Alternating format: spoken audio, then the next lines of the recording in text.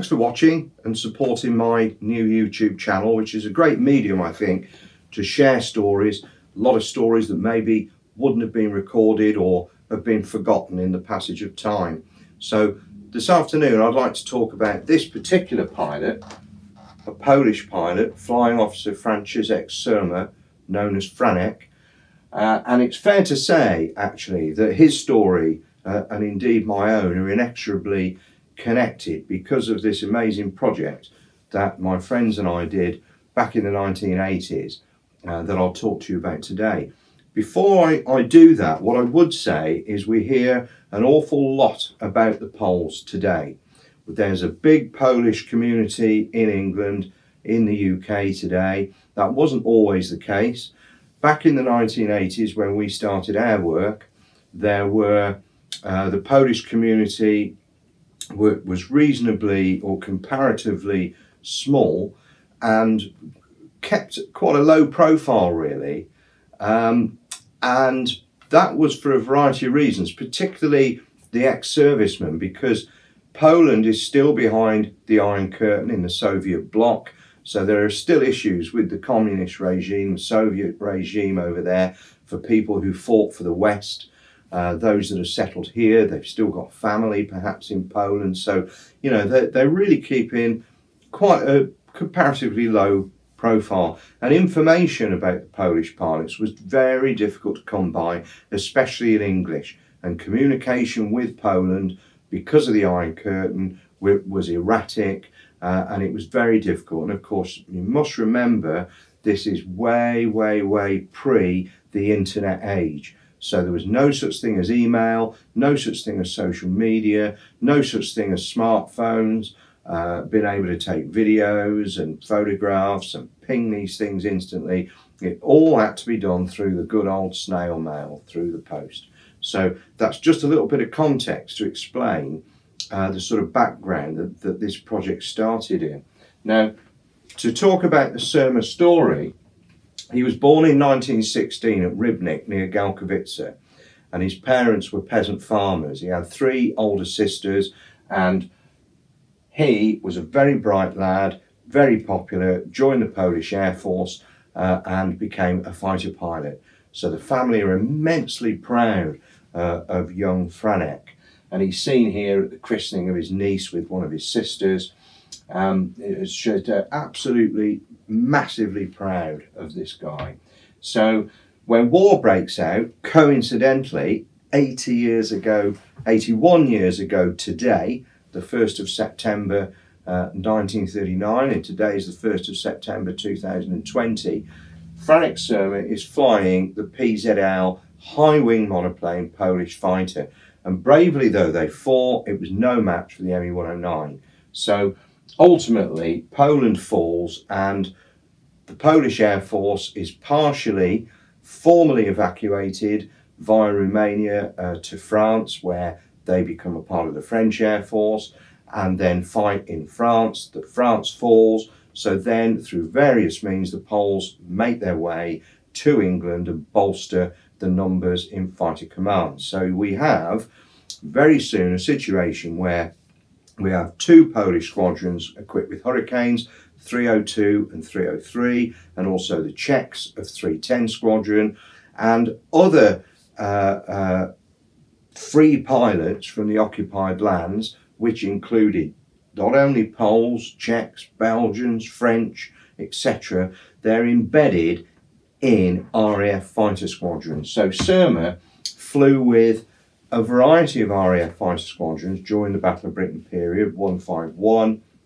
607 County of Durham Squadron, uh, and he's pictured here at Tangmere, at Readiness, at dispersal in September 1940, serving with 607 Squadron, and he was in a flight commanded by Flight Lieutenant Charles Bowen, who's on the right there, pictured in a German Schwimmwest, uh, and they're larking about because Surma used to infuriate Bowen, apparently, who was a very senior pilot, flight lieutenant, uh, by calling him his lovely boy. Uh, and uh, they're larking about at dispersal. The photo was taken by Harry Welford, who was also a pilot officer with Surma on that squadron at the time. So Um, it, it's a little unique window into the past, a little photograph like that, a little snapshot. So Surma then goes on to fly with 257 Squadron at North Weald, which is Bob Stanford Tuck Squadron.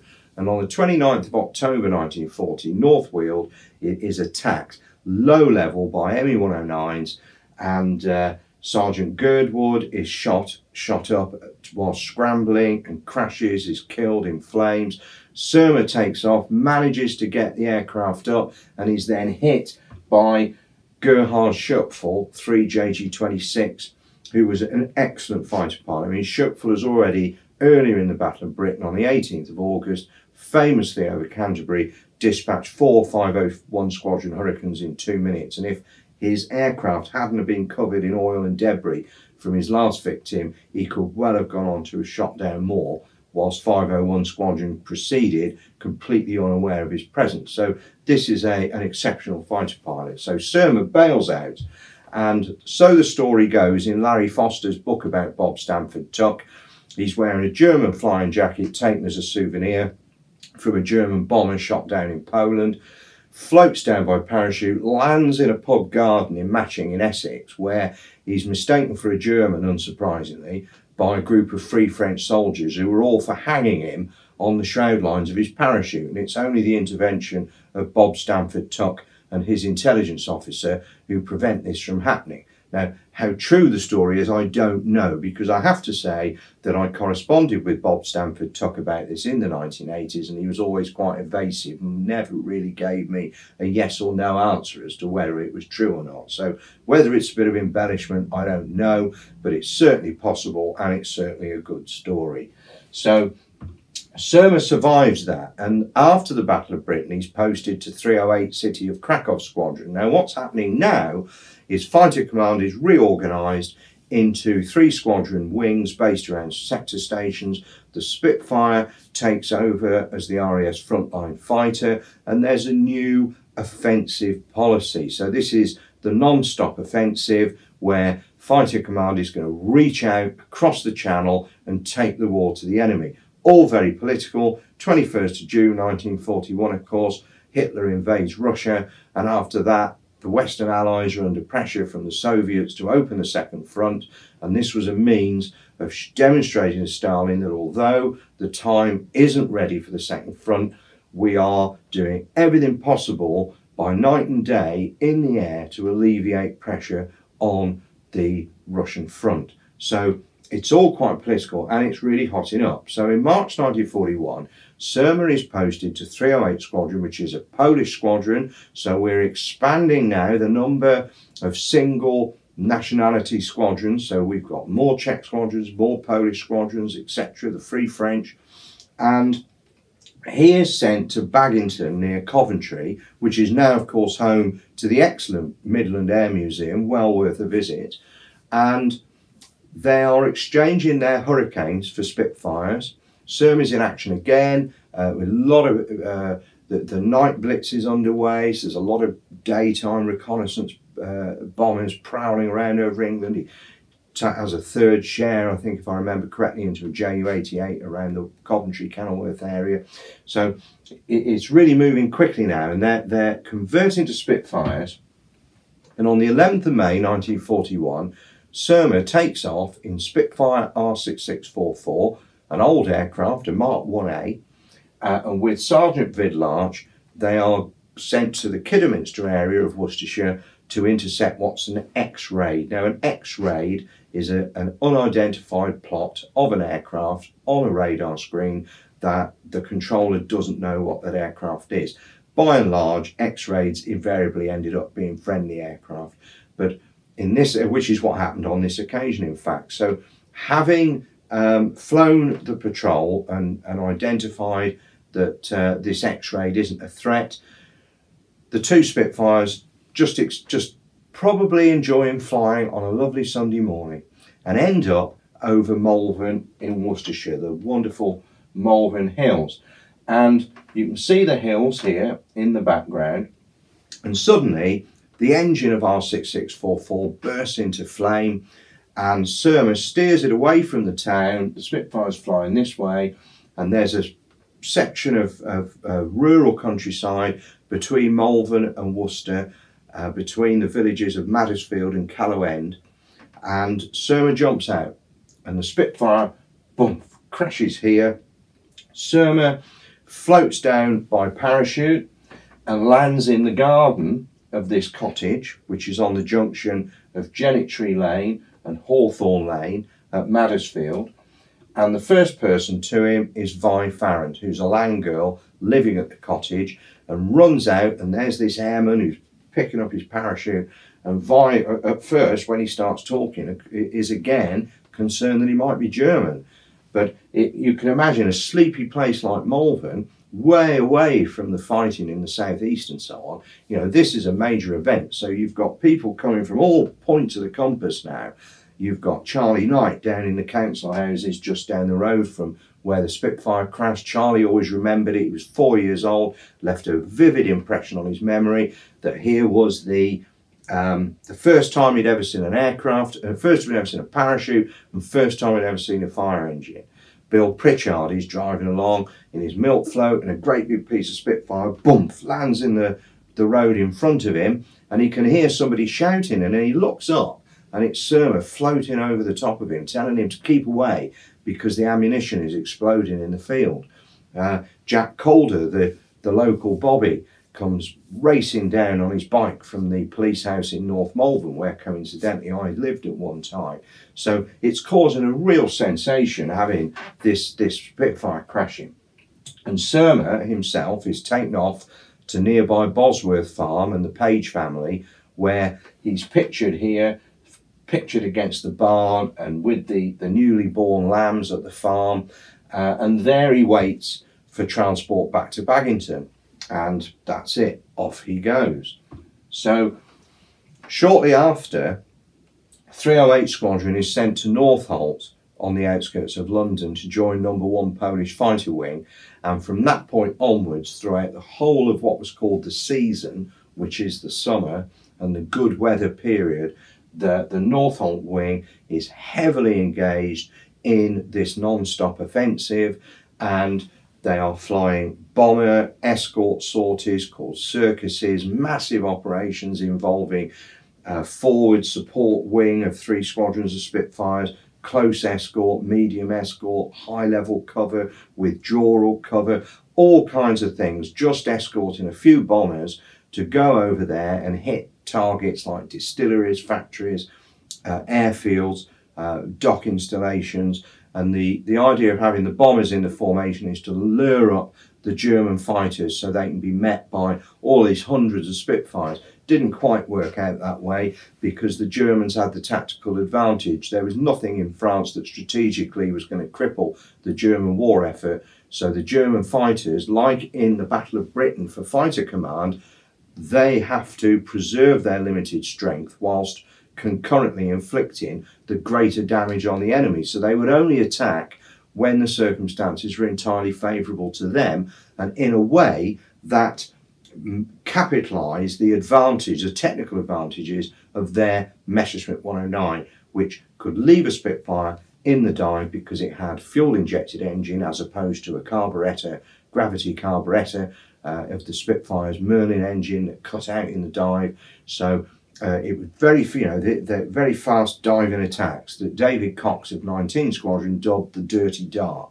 So the thing of the, all these dogfights and things, really quite, actually quite rare. But this is an incredibly uh, intensive period of operations, during which time Fighter Command is actually losing, losing an awful lot of experienced pilots, men like Eric Lock, Bob Stanford Tuck's later the following year uh, went down on these similar operations.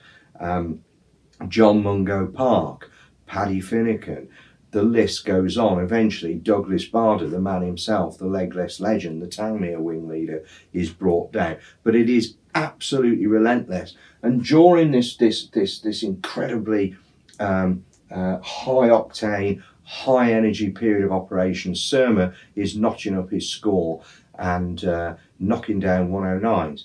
So he receives the great Polish gallantry medal, the Virtuti Militari 5th class, which is on the left, and the Cross of Valour. And this is the medal ceremony at Northolt. This is the pilots of the Northolt wing all lined up. And this Spitfire here is AB 930 ZFJ that Surma flew quite often. Um, and it was also damaged with uh, Sergeant Jan Ockroy flying it in September 1941 when it was hit with cannon shells in the tail and badly damaged. But it was repaired, and Surma is flying this aircraft on the 8th of November 1941, which is the last big operation of the season. Circus 110, which is a bombing raid to the power station at Lille. So it, it's, it, it all goes wrong that day because 308 Squadron missed the rendezvous with the bombers. The sun is, is too bright and it's all confusing. And 308 Squadron is on its own and is vectored to the French coast to patrol up and down uh, and wait and see what happens basically. So this is quite a long flight. They're over the Dunkirk area and just towards the end of their patrol time, they're bounced by a, a strong force of ME-109s from JG-26. Now, on the left here is uh, Jurek Poplowski, who was a close friend of Franek Surma's, and this is Tadek Stabrowski. They filed combat reports to the effect that they attacked an ME-109 that was shooting down a Spitfire, but then had to break themselves because there were even more 109s falling on them. And of course, they haven't got a lot of petrol to hang around. So when they get back to Northolt, Franek Surma is missing, and there's no doubt, looking at the records, that he was shot down by Hauptmann Johannes Seifert of JG26, another very experienced fighter pilot, and ace who was himself killed later on, Knight's Cross holder, and so on and so forth. So Surma is missing. And the missing question is something that really moves me. I, have done a lot of work around missing in action uh, around aircrew and uh, soldiers, uh, and I've got some some more work coming about that that uh, we'll talk about another time. I think it's a terribly sad thing, and my interest in the missing arose because my great grandfather was missing with the Worcestershire Regiment at Gallipoli in the First World War, uh, and to me as a young child, it just never seemed acceptable to me that nobody could tell me what happened to him. So this question mark when people are missing is a terrible thing for families. Now, Surma's name was recorded and is recorded on the Polish Air Force Memorial at Northolt and many years later in 1985 I came to work at Malvern Police Station when I was a 23 year old young police officer, and I bumped into my old friend Andy Long, who is here. And uh, Andy at the time was only about 19, I think. And Andy lived at Callow End, the village close to where R6644 had crashed. And, and Andy said, um, Did you know there was a Spitfire crashed outside Madresfield? Polish Battle of Britain pilot bailed out. And that was it. That was the ping light bulb moment for me up to that point, I've been obsessed with the Battle of Britain, obsessed with the, the, the Spitfire, and, and read avidly everything about it. But when Andy said that, it was the light bulb moment because right on my doorstep, here was an opportunity to actually physically reach out and engage with and touch the past. And it was just the most incredibly profound thing. So Andy and I formed the Malvern Spitfire team of, of like-minded local enthusiasts to pull off this project. And what we what we did, we put an appeal in the local paper, we traced loads of eyewitnesses and interviewed them, located the crash site, and this is uh, we're pictured here with eyewitnesses down at the site. Um, but we didn't just want to excavate it. You know, aviation archaeology was very popular at the time, particularly with the Battle of Britain crash sites in the southeast. And we, we wanted to do something that was that would really put Surma's story on the map.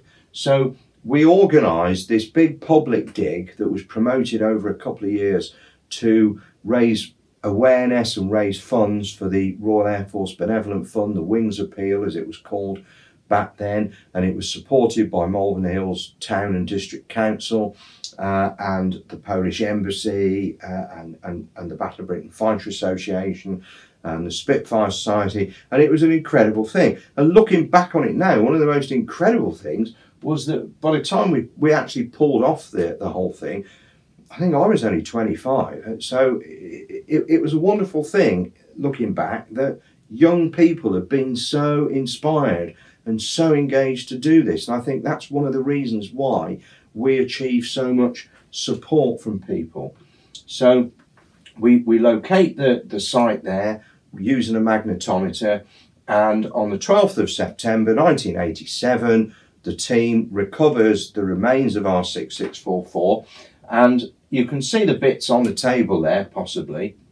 Um, these are the bits there, and this is squadron leader Gandhi Drobinski, Polish ace with a DFC, squadron leader Ludwik Martel, flew Spitfires in the Battle of Britain, and Bob Morris, who was one of our members, who was a, a Spitfire enthusiast through and through, who um, was on 66 Squadron in the Battle of Britain himself. So Bob's there chatting to the two uh, Polish pilots about the bits that are recovered. And as you can see, they, they weren't that big. And the, the reason is that Malvern is granite, it's very hard ground. So it's hit the ground and it's just shattered. So there were lots and lots of little bits, loads and loads of engine and, and bits and pieces like this. Uh, and these were presented to me by the team at a function a few years later, and they're very special um, in, in my personal collection. So the biggest piece was the uh, a piston and liner, but there was a lot of it. So this was a great thing. There's the piston and liner, and after it being conserved by Dr. Dennis Williams, who was one of our members and a metallurgist, and on the same day, and most importantly, we had built a small memorial cairn dedicated to Frank Surma opposite the cottage where he landed by parachute. Now, he wasn't killed there, but we felt that because he was missing and because he hadn't got an individual personal marker, we felt that it was entirely appropriate to build something there to remind people of him and to remind people of that incident and be a talking piece locally. So it was an amazing thing because when we walked up the road from the crash site to the memorial, everybody seemed to leave the field and, and I just thought everybody had gone home. We had a fly past from a 65 Squadron Tornado and the Battle of Britain Memorial flight were cancelled because of bad weather. It was a bit blustery and everybody seemed to leave the field and I, I thought, oh, that's a shame, everybody's gone now. And as we walked up the lane and around a bend, Gandhi Drobinski became a very dear friend of mine, uh, said to me, Dilip, we, the Poles, were told not to attend the victory parade in 1945 because of Stalin. As far as I'm concerned, this is our victory parade. We've waited a long time for this. And it, it was such a choked up moment for all of us. And as we walked around the corner, the most incredible sight, the whole lane, wall to wall or hedge to hedge, was packed with people. Hundreds and hundreds and hundreds of people had turned out to watch this. It was amazing. And, and these people, Tadek Kristic was the secretary of the Polish Air Force in Great Britain at the time. You've got Gandhi Drobinski, who actually flew at Northolt in 303 Squadron in the Polish fighter wing. When Surma was there, he actually knew him. Uh, and for Ludwig Martel, they were amazed that anybody was even interested in the Poles. And that's a direct contrast to today, where the Poles are very firmly on the map, not least because of the expanded population in this country and the ease of information being available. Not the case back then. So the Poles were absolutely astonished that anybody was interested in giving any attention to them and their wartime efforts and their story.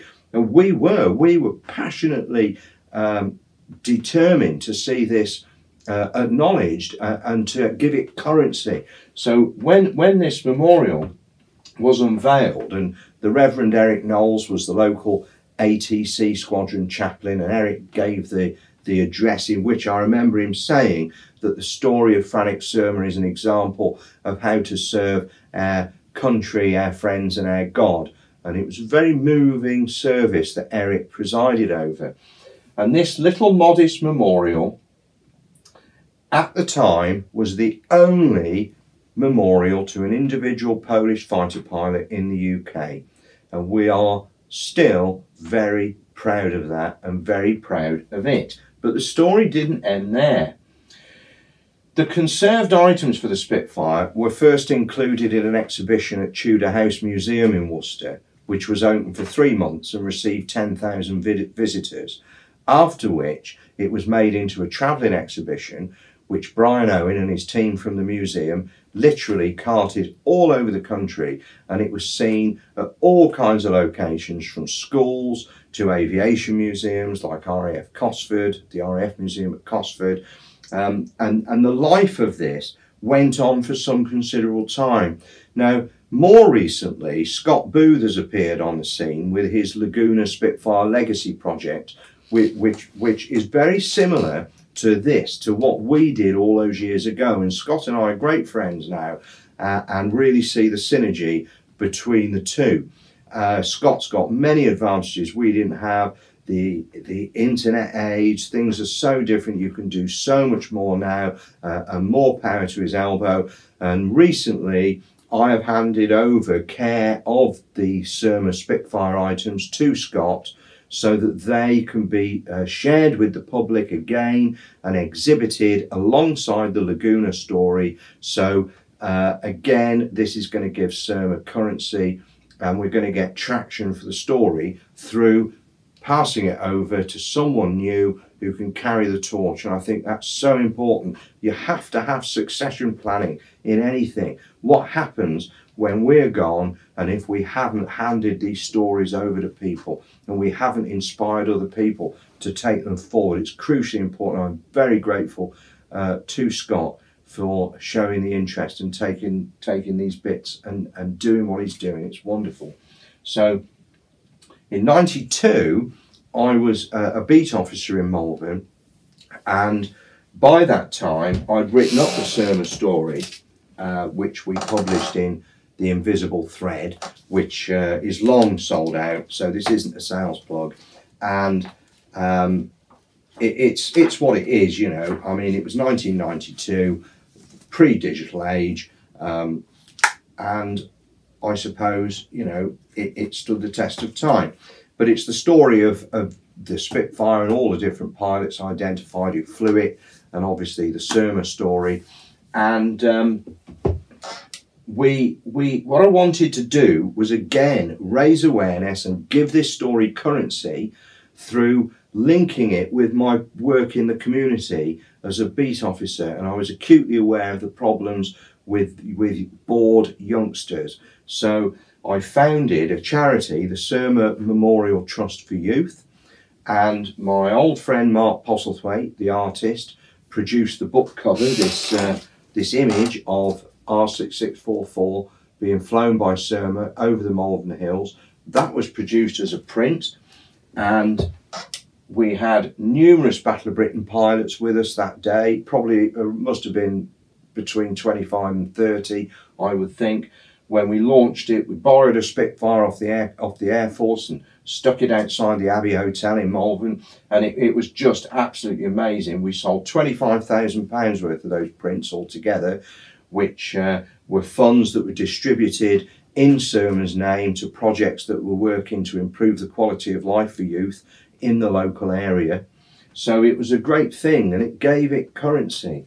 And Dave Pennell, uh, the late Dave Pennell, flew his Spitfire MJ730 that he kept nearby at Staverton in Gloucester uh, over Malvern. We brought the absolute town to a standstill and uh, uh, I don't think there was anybody in Malvern by the time we finished in the Worcestershire area hadn't heard of Franek Surma and Spitfires. So it was a terrific project. You can see the amount of people that turned up for this. It, it was just great. But it's a long time ago now. Uh, it's nearly 30 years ago. Uh, so there's an awful lot of people out there that have never heard of this project uh, and have forgotten all about it. And these are some of the some of the few who came to help us launch it. It was an absolute massive privilege to be to be friends with these people and to have their support. It was absolutely fantastic. Sadly, they're all now deceased, and we're in a situation today where we only have one known Battle of Britain pilot alive. So times change. But I really wanted to share this story with you, and there's another video, a short clip that I filmed yesterday, just showing the memorial as it is today and the local area. So we'll put that on YouTube as well. But before I finish this, in the 1980s, I traced uh, Franek Surma's sisters, Elżbieta and Otylia, uh, in Poland. Communication was very difficult because of the language barrier, because of the post. But talking about the missing, I just want to read you to finish an extract of the letter. And more recently, must be 10 years ago, I revisited the Surma story in Spitfire Voices that was published by Amberley uh, and I think is is still available on the second hand market or or as a paperback probably I, am not sure but um, but I'll just read you this uh, and this was one of the most moving letters that I ever had uh, and this this was hard on the heels uh, of me having been made an honorary Pole at an incredible service uh, ceremony at the Polish Air Force uh, headquarters in, uh, in, in London with uh, Gandy Drobinski and Ludwik Martel and other Polish pilots, and I was delighted to accept that honour on behalf of the team. So, so a, a couple of days after that, this letter turns up, and this is what they say. During the war, we received a letter from Franek via Holland. He let us know about the dispatch of two other letters and some money. Only one of those letters reached us. Via Portugal, we received parcels from him known as Signs of Life, containing tins of sardines. Our joy was not for the food, but for the knowledge that, that the sender was still alive. Can you imagine our great joy? Those were the only happy moments in those cruel days. After the war ended, we received another parcel which made us happy because we assumed that Franek was still alive. But we waited in vain for him to come home. Finally, we asked the Red Cross to try and discover whether he was still alive. Eventually, we received confirmation that our dear brother had failed to return from operations in 1941 and was probably killed in the cold waters of the English Channel. We also received his medals and photographs. The news of this tragedy drove us all to the depths of despair. Since that time, more than 40 years have now passed, and we're happy that Franek's memory is alive, not only with us. At our memory room in Godawi, his photograph is displayed in a place of honour. Also, you in faraway England have not forgotten him. We are so proud of our brother. We are also astonished at your achievements as such a young man and want to shake your hand for all you have done. Kindly express our gratitude to everybody who has contributed to the commemoration of Franek Surma. We are most grateful to his friends, the chaplain, and the people of England. It is hard to express our thanks in words. There are no words that could adequately express the feelings of two old people who have kept alive in their hearts the memory of their dear brother. Actually, breaking off, it's worth pointing out that the other sister was killed in a German bombing raid. So these are the two surviving sisters. Through your project, you have awakened our memories and shown how wonderful people can be. Many special thanks go to you, and we will be praying for your success in life, prayers for someone now very dear to us. May God take care of you and your organisation. We are so happy that there is still someone to light a candle for Franek on All Souls Day. We are happy because the memorial erected to him serves as his grave a symbol he can see from heaven. We have always worried about Franek having no known grave, but now we are at peace, thanks to you. But it wasn't just me, and without Andy Long igniting this flame, possibly none of this would have happened. It was a team effort, and there's no I in team. But one thing we do do every year and I've done it religiously, a promise that I made those two old ladies, both of whom are now deceased, is to light a candle for Franek on All Souls Day every November, and I'll certainly be doing that this year. So that's the Franek Surma story. That's the main thing that got me totally absorbed and obsessed with researching these very violent events from all those years ago, meeting the veterans, the survivors, the eyewitnesses, and collating all these first hand accounts that now provide such a rich source of material. So uh, remember Franek Surma and remember all of these people who gave their lives. And there's a story behind every single one that we really mustn't forget. So thanks again for listening.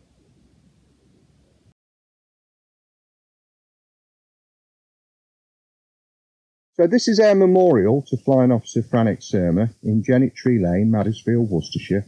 And at the time it was unveiled by Battle of Britain Spitfire pilots, squadron leaders Drobinski and Martel, it was the only memorial to an individual Polish fighter pilot in the UK. And we do know that we spelt his name wrong, but at the time we were only kids. Information was difficult to come by because Poland was behind the Iron Curtain. So in a way, that's part of the story. And that's why we decided not to amend it and to leave it. So his Spitfire crashed further down the lane in the fields on the right. And Surma himself drifted by parachute across the lane and landed in the garden of the cottage on the junction of Hawthorne and Jennet Tree Lanes. And Vi Farrant, a land girl, was the first to Surma, caused concern that he may have been a German because of his accent, and he waited at nearby Bosworth Farm for transport back to Baginton Airfield and 308 Squadron. Sadly, he was killed in action and reported missing near Dunkirk six months later. So, although he wasn't killed here, we felt because he was missing, he should have some kind of individual marker. And it's here in this beautiful place in the lee of the Malvern Hills, which inspired Elgar's famous land of hope and glory. So, what could be better?